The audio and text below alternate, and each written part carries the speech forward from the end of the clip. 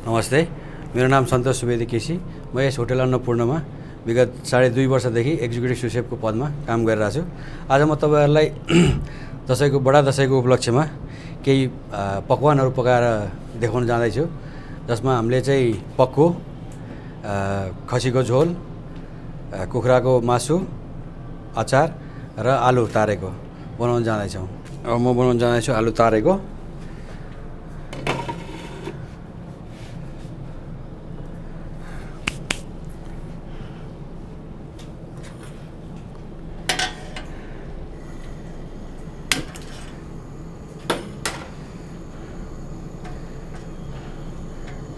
बाक्लो पिट भएको एउटा कराई अथवा घर घरमा हुन्छ कराई। कराई लिनु।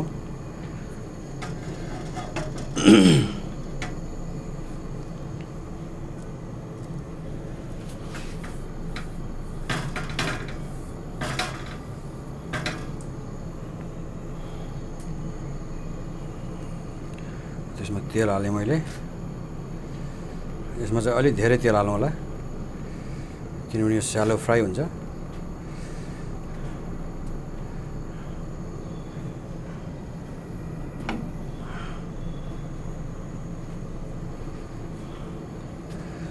यो आलु चाहिँ मैले पहिले अलि अगाडि नै बोइल गरेर हल्का स्यालो फ्राई गरेर राखेको छु। यो घरमा चाहिँ तपाईँले उसिनेर एकैचोटि गर्दा नि हुन्छ।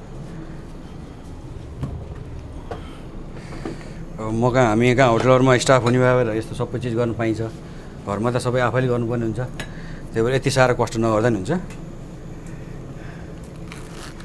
यसमा म अब मेथी हाल्दैछु।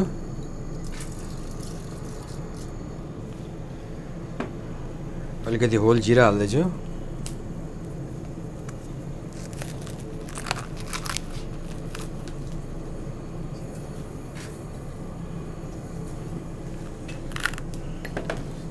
होल धनियाँको क्रास गरेको धनियाँको गेडा हाल्दैछु।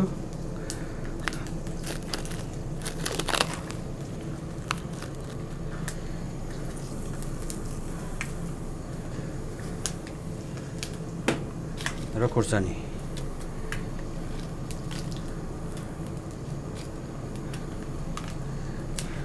अब आलु भएर हालेँ मैले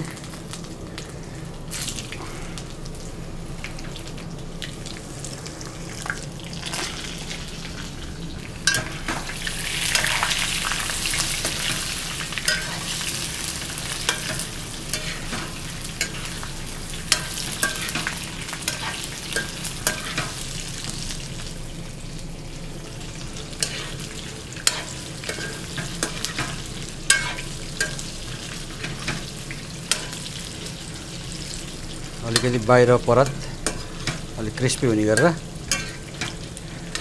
अलिक खरो हुने गरेर यसलाई तार्ने।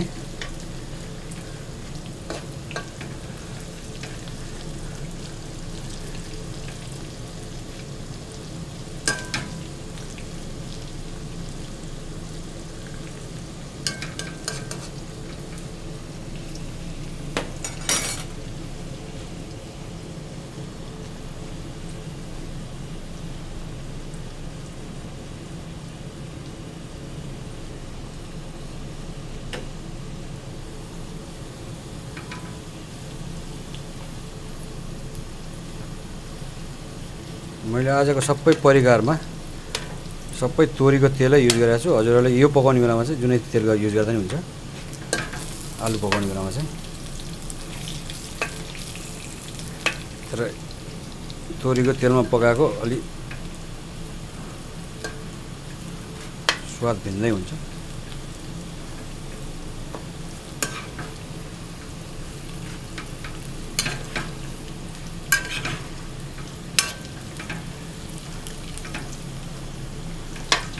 यो हाम्रो खरो भइसकेको छ। अब यति बेला चाहिँ हामीले अरू ड्राई मसलाहरू हाल्ने हो। यसमा चाहिँ धेरै हामीले केही पनि हाल्नु पर्दैन खालि जिराको धुलो थोरै थोरै बेसारको धुलो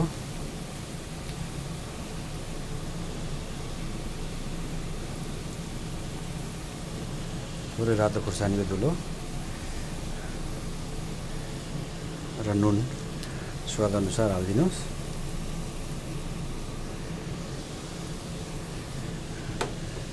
यसलाई बिस्तारै चलाउनुपर्छ जति सबैतिर लागोस् यति बेला तपाईँले आँच सानो गर्नु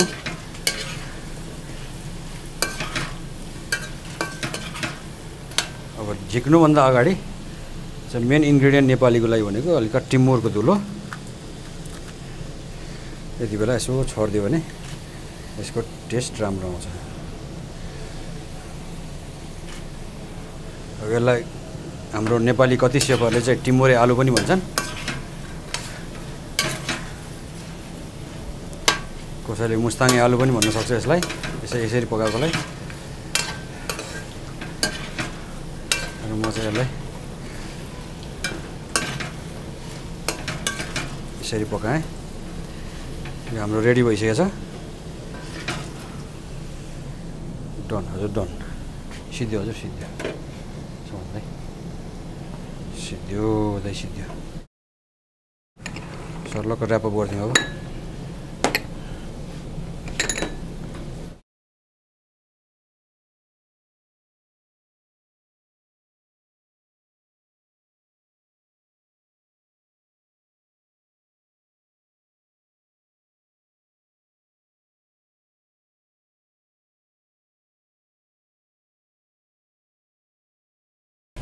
अब यो मलाई पकाउँदै गर्दा अलिक गर्मी भयो। र टोपी पनि पौलिन थाल्यो। यसलाई चाहिँ मैले साइडमा राखेँ। अरू पकाउनुभन्दा अगाडि। र यो हाम्रो रेडी भएको छ। यसलाई म प्लेटमा राख्दैछु।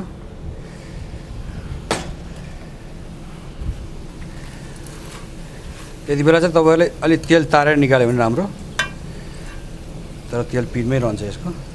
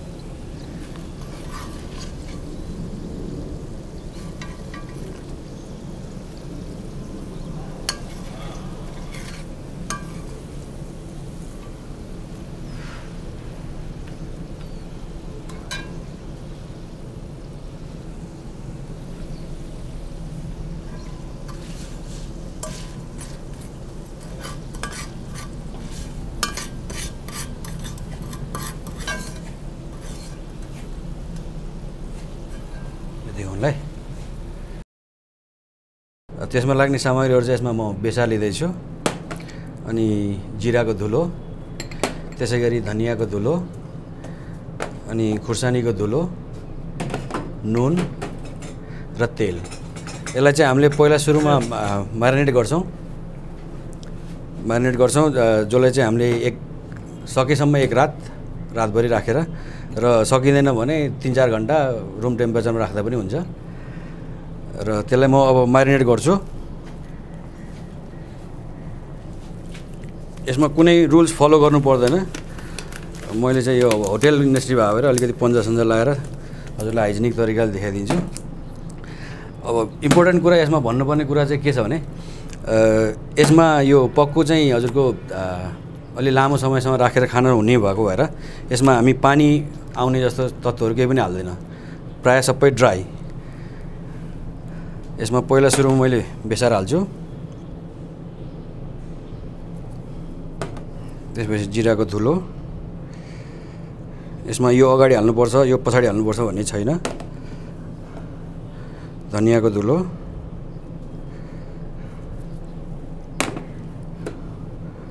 खुर्सानी आफ्नो टेस्ट अनुसार कति पिरो खानुहुन्छ। र नुन। अनि स्वाद अनुसार त्यसपछि तोरीको तेल।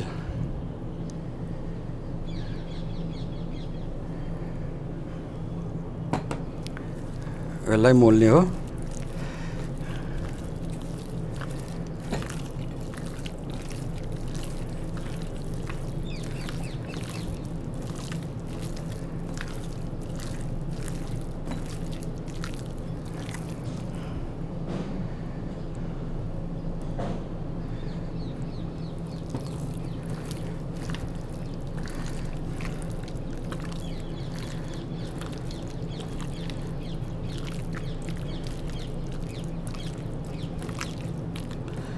यति मोलिसकेपछि यसलाई हामी अब एक दिनको लागि राखिदिन्छौँ नभए भने एक घन्टासम्म रुम टेम्परेचरमा छोडेर फ्रिजमा राख्ने अथवा अब तपाईँसँग टाइम छैन र पाहुना भरे नै आउँदैछन् भन्यो भने चाहिँ हजुरले तिनदेखि चार घन्टा रुम टेम्परेचरमा छोड्दा हुन्छ।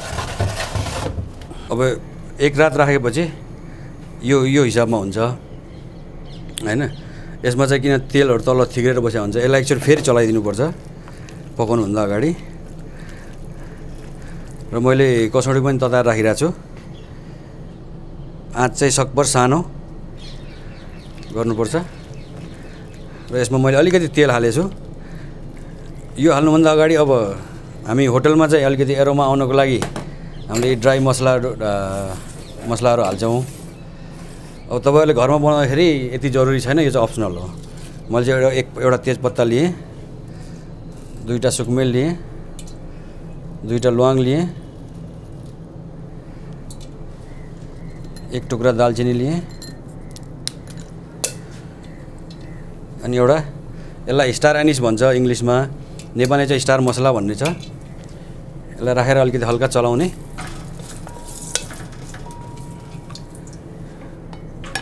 यति भइसकेपछि अब सिधै ओरिँदा भयो।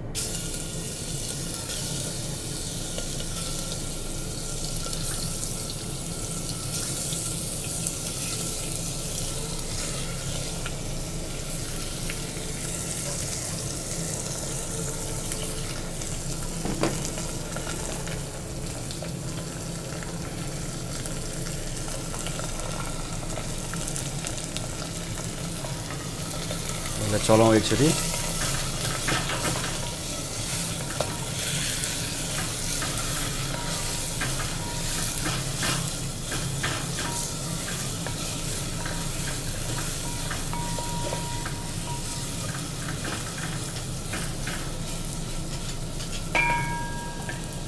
यसरी पकाउँदाखेरि हाम्रो तिनदेखि चार घन्टा लाग्छ पाक्नलाई।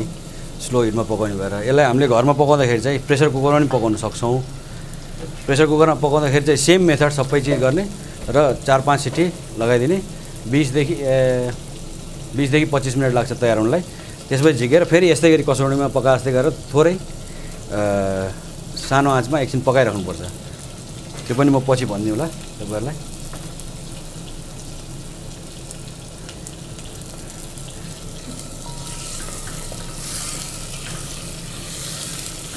यसमा चारैतिर डाम लागिसकेपछि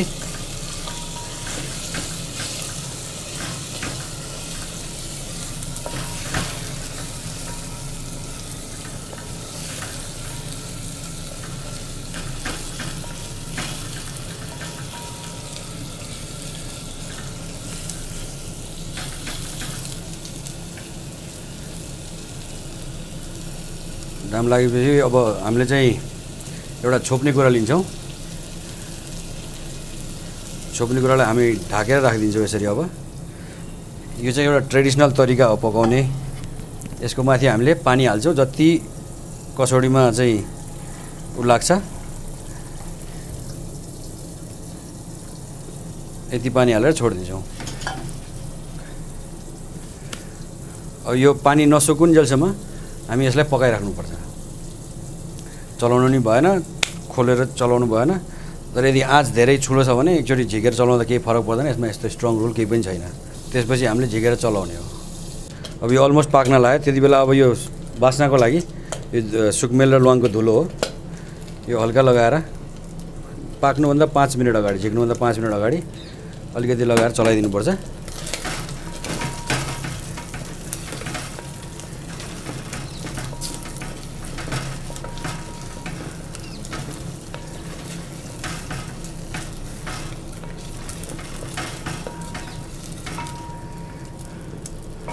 एकछिन छोपिदिउँ र यो रेडी भयो।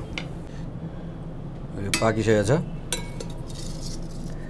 यसलाई अब मैले चाहिँ यो अलि ठुलो ठुलो पिस गरेछु। हजुरहरूले चाहिँ सानो सानो गर्दा नि हुन्छ। र बढी भएकोमा यसलाई चाहिँ काटकुट गरेर अचार बनाउँदा नि हुन्छ। अब म पकाउन जाँदैछु खसीको। अब झोल भन्छौँ हामी। त्यसलाई पनि हामीले प्रि म्यारिनेसन गरेर राखे नि भयो। र म चाहिँ यहाँ प्रि म्यारिनेसनै गर्दैछु अगाडि नै म्यारिनेट गरेर राख्दैछु र पछि हाल्दा पनि केही फरक परेन। यसो गर्दाखेरि अलि स्वाद आउँछ कि भन्ने मेरो आफ्नो पर्सनल धारणा हो। अनि यसमा चाहिने इन्ग्रिडियन्टहरू चाहिँ अलमोस्ट पक्कोमा जस्तै हो सबै हो तर त्यसमा मैले चाहिँ एउटा एउटा गोलको स्वाद ल्याउनलाई मैले चाहिँ यो टमाटर यसरी पोलेर चप गरेर राखेको छु। अनि अदुवा लसुन सबै र अनियन सबै यसरी चाहिँ पोलेर राखेको छु। र मैले हरियो खोर्सानी पनि अलिकति पोलेर राखेको छु। यो चाहिँ म पकाउने बेलामा मात्र हाल्छु। अहिले चाहिँ यसलाई म्यारिनेट गरौँ। अलिकति तोरीको तेल। यसमा चाहिँ थोरै हाल्दा भयो।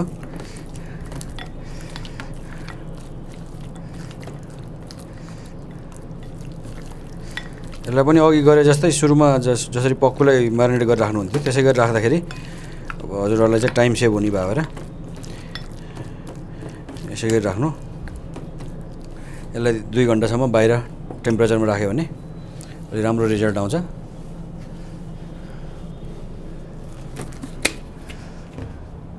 यसलाई पनि म कसौडीमै पकाउन जाँदैछु। तपाईँहरू चाहिँ जेमा प्रेसर कुकरमा पकाउने चलन छ आजकल हामीसँग टाइम छैन। त्यसले गर्दा यसलाई पनि प्रेसर कुकरमा यो पनि मिडियम आँचमै पकाउनु पर्छ यसमा चाहिँ मैले अलिकति तेल राखेँ।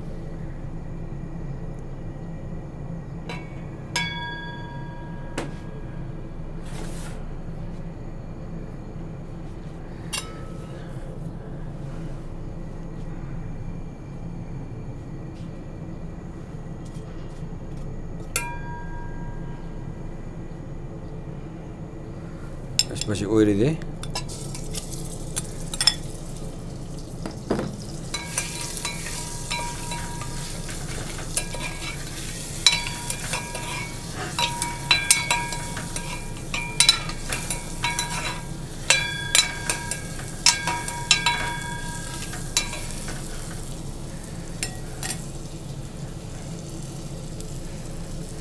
यसलाई एकछिन सब सबै सबैतिरबाट अलिकति दाम लागिसकेपछि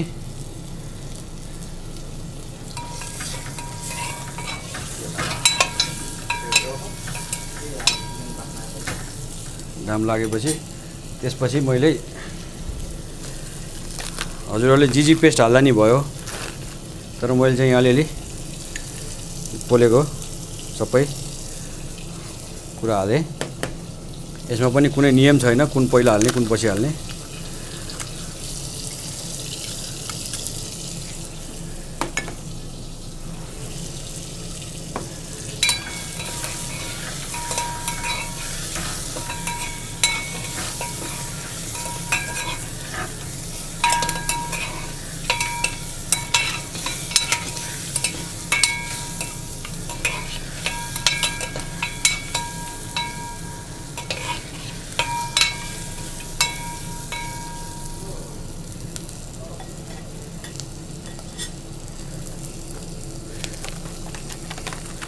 तकरिबन यसरी भुटेको आधा घन्टा भएपछि आधा घन्टापछि टोमेटो हालिदिने।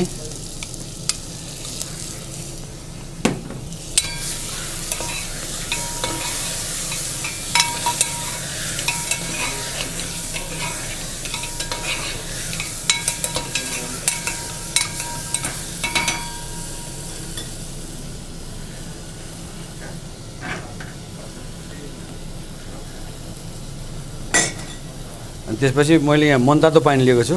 यसो मनतातो पानी हालेर खसी पकाउँदाखेरि चाहिँ स्वाद अलि मिठो हुन्छ।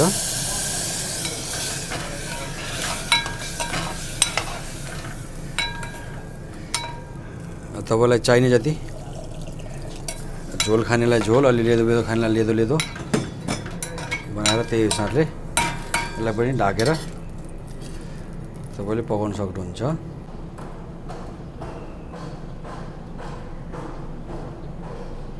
पछि अलिकति हरियो धनियाँ हालेर चाहिँ गार्निस गरिदिन्छु।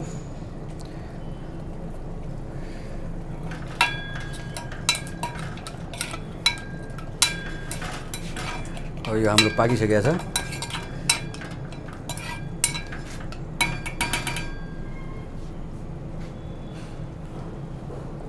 राम्रै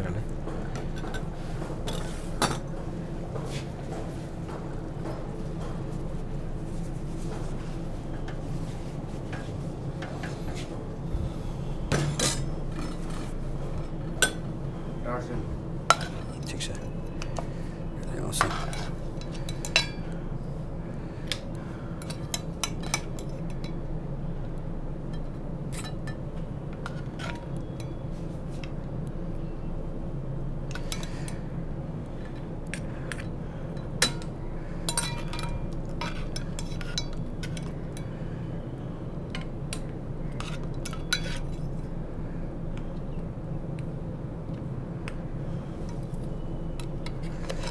यतिको झोल बनाएर मैले चाहिँ धेरै पातलो पनि बनाइनँ र धेरै बाक्लो पनि बनाइनँ।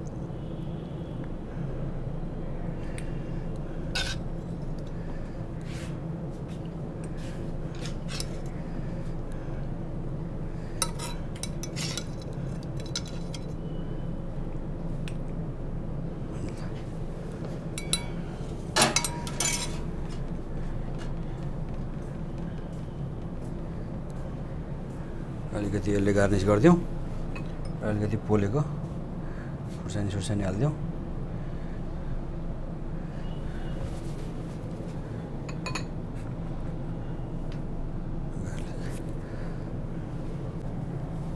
पकाउँदैछौँ यसमा पनि हजुरहरूले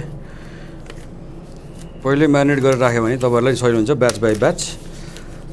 तपाईँहरूको चाहिँ जति पाहुना आउनुहुन्छ त्यतिजनाको लागि छुट्टा छुट्टै चाहिँ प्याकेटमा पोको पारेर राख्दा हुन्छ म्यारिनेट गर्दै। यसलाई पनि त्यस्तै गरी सबै नेपाली मसला भनेको यही हो। नुन हाले खुर्सानी धनियाँको धुलो बेसार र जिराको धुलो अनि तोरीको तेल। मैले यो आजको कुकिङमा सबै तोरीको तेलै हालेको छु किनभने ट्रेडिसनल नेपाली फ्लेभर आउँछ यसमा। अहिले हामी अलिभ ओइल के के के के युज गर्छौँ त्यसमा भन्दा स्वाद खाने हो भने चाहिँ यसमा राम्रो हुन्छ। र कुखुराको मासुमा आफैमा बोसो हुने भएर हामीले चाहिँ धेरै त्यो गर्दैनौँ। र एउटा तपाईँहरूलाई अझ एउटा राम्रो ट्रिक दिन चाहन्छु म। यो जुन छाला जुन पोलेको हुन्छ नि हजुरहरूको अहिले जुन बजारहरूमा पाउँछ छाला पोलेको मासु त्यो छाला उताबाट पोलेर नल्याइकन आफै घरमा पोल्नु हो भने स्टोभको माथि राखेर पोल्नु हो भने राम्रोसँग पोल्नु होला। त्यो पोलेको कारण चाहिँ किनभने उहाँहरूले चाहिँ ट्रिक गरे हो यो भुत्ला सुत्ला उडाउनलाई। तर त्यसको गन्ध अलिक नराम्रो आउँछ खानामा। त्यही भएर भुत्ला राम्रोसँग खुइलाएर यसलाई चाहिँ राख्नुपर्छ। अब यसको लागि मैले एउटा बाक्लो कराई लिएको छु। त्यसमा म अब थोरै तेल हाल्छु।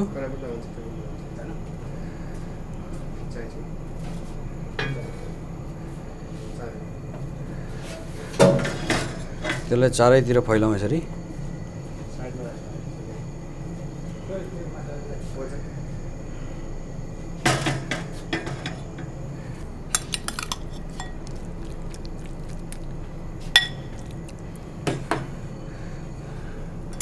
तेल तातेपछि यसमा म अलिकति अनौठो लाग्ला तपाईँलाई चिकनमा पनि मेथी हाल्यो भनेर म चाहिँ हाल्न रुचाउँछु अलि।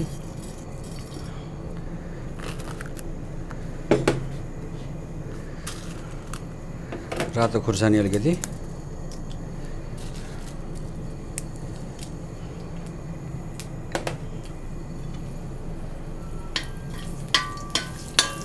हल्का ब्राउन भएपछि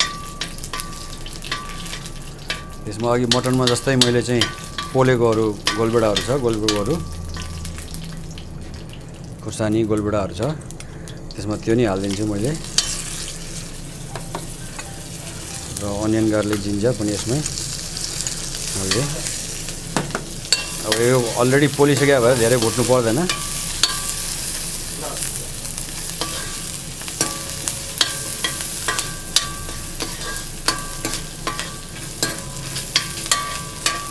यसमा चिकन हालेँ।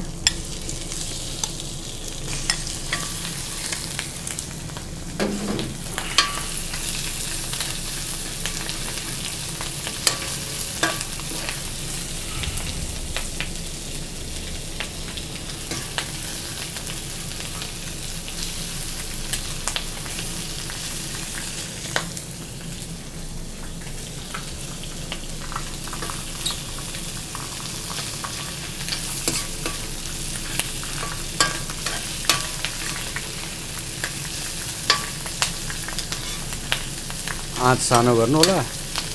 अनि यसरी डढ्यो भनेर न नतर्सिनु होला। ल मेरो त डढ्यो के सिकायो सेफले भनेर नभन्नु होला। यस्तो डढेर केही फरक पर्दैन।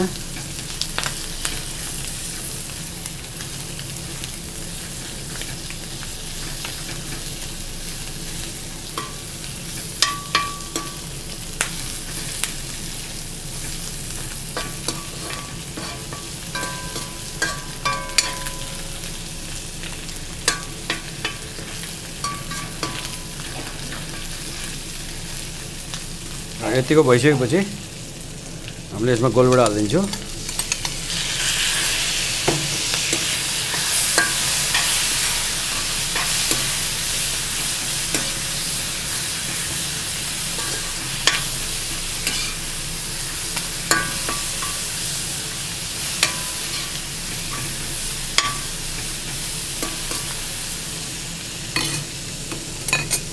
थोरै चप गरेको धनियाँ हालिदिन्छु। रहेको मसलाहरू सबै थोरै थोरै।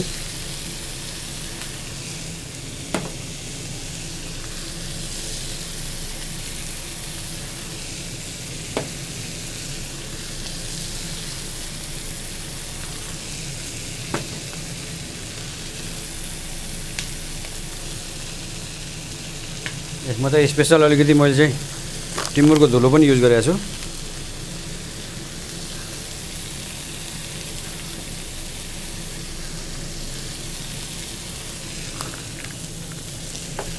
भिन्न नेपालीपन ल्याउनुलाई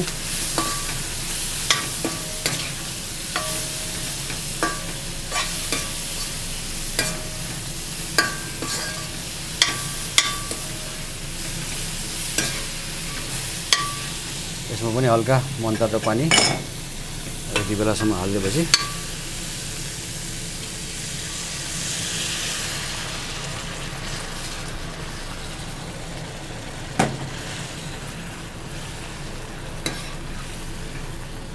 हाम्रो यो अन्नपूर्णको कफी सप भन्ने रेस्टुरेन्ट छ जहाँ चाहिँ हामीले यसलाई नरम कुखुराको झोल भनेर बेच्ने गर्छौँ। यसरी नै बनाइन्छ त्यो।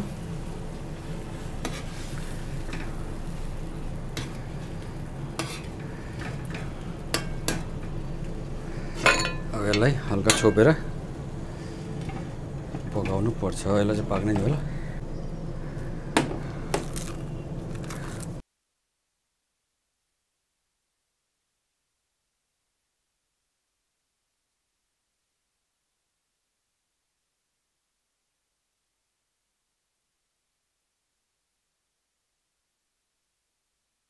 अलिकति टिमुरको धुलो चाहियो र नुन।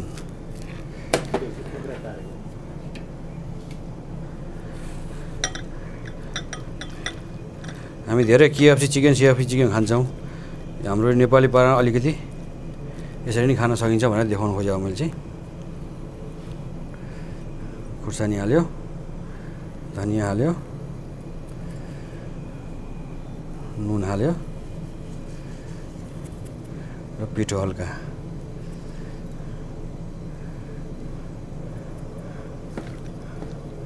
यसमा हल्का टिमुरको धुलो।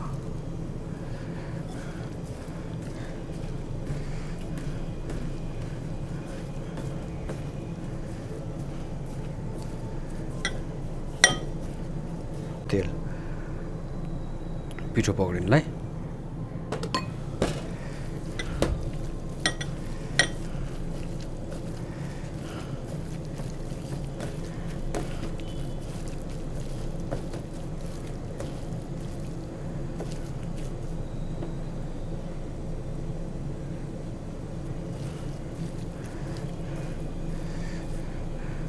अब तपाईँहरूले अलिकति यसमा अन्डा सन्डा नै हालेर गर्न सक्नुहुन्छ। म चाहिँ अन्डा नहालिकन गर्दैछु।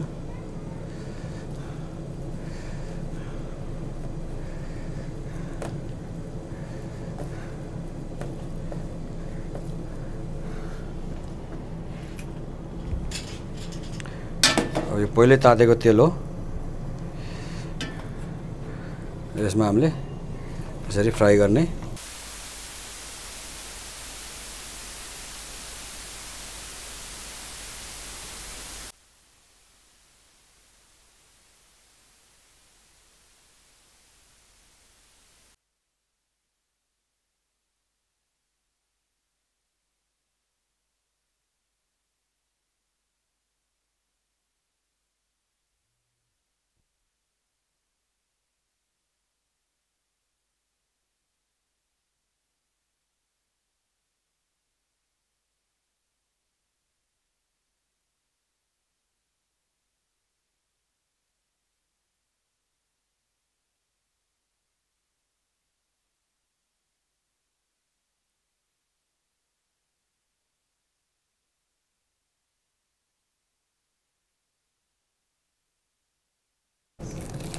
म एउटा मु मुलाको अचार बनाउन जाँदैछु। जुन चाहिँ रेडिमेड हुन्छ। हामीले धेरै छिटै बनाउन सक्छौँ यो।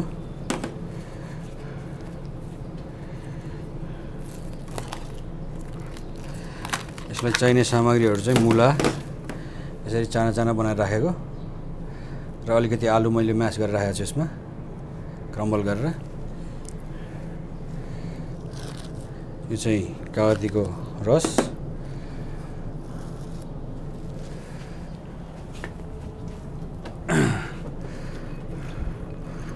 यसमा अलिकति थोरै हरियो केरो यो भिजाएको सानो केरो।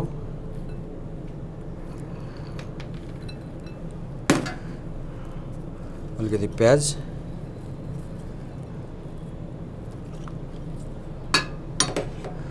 हरियो खुर्सानी।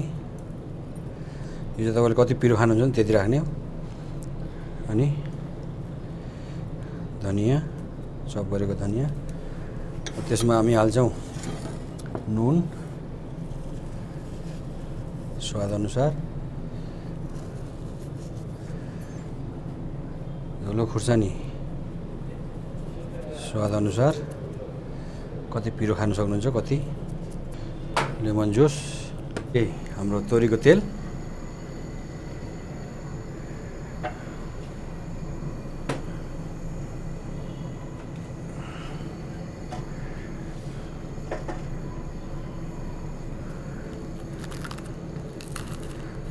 मेथी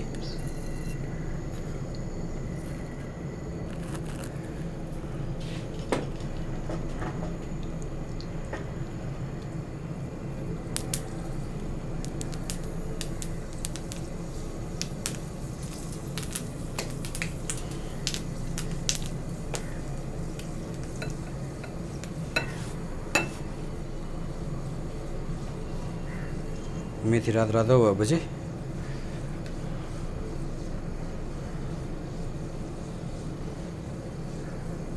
यत्तिको भएपछि एक चम्चा जति बेसार।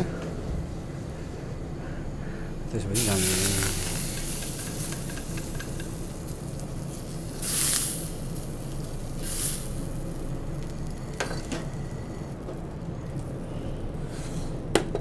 त्यसपछि हामी मोल्छौँ यसलाई मजाले।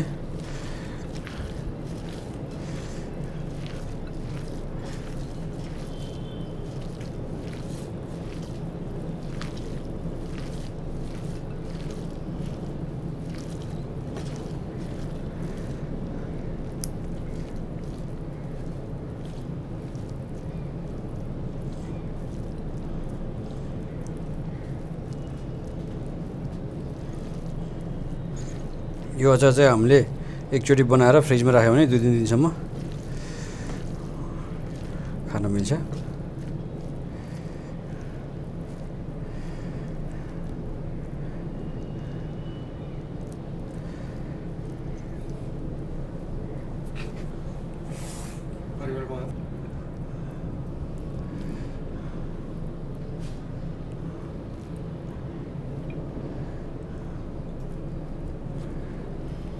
यो अघि हामीले जति पनि सम्पूर्ण चिजहरू पकायौँ हामीले चाहिँ हाम्रो अन्नपूर्णको कफी सपमा यसरी चाहिँ हामीले एउटा स्पेसल थाली बनाएर हामीले त्यहाँ प्रमोसनमा राखेको छौँ। यो अघि पकाएको पक्कु फ्राइड चिकन आलु सबै यसरी हामीले बलमा राखेर हामी चाहिँ त्यहाँ कफी सपमा बेच्छौँ।